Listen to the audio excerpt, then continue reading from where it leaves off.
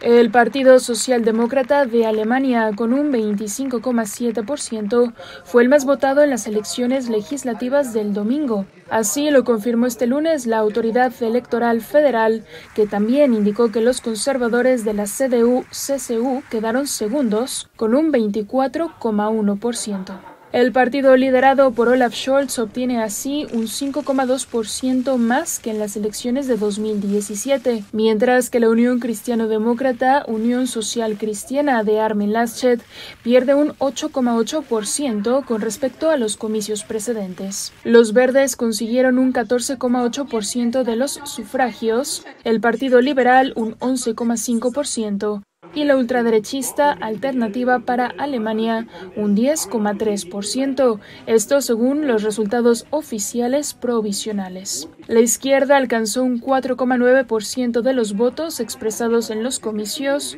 que abren la vía a unas complejas negociaciones para la obtención de una coalición de gobierno que con grandes posibilidades tendrá que componerse de tres partidos.